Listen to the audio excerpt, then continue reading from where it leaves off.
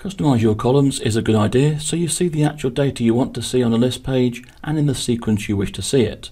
So if I right click, choose columns, I could decide that I want to see, for example, an extra field such as salesperson code, add it in, move it to the top, and perhaps I don't want to see responsibility center, so I can remove that, and change the sequence for my columns to display in. I then say OK, and I have a different view of my data. Similarly, I can auto fit the columns to the actual data within them. If I double click the line between name and number, it fits to show me the data within that column. If I do the same thing to contact, I see their full names. If I do the same thing to location code, it fits to the data items, not the column heading. So I now have a clearer view of my data.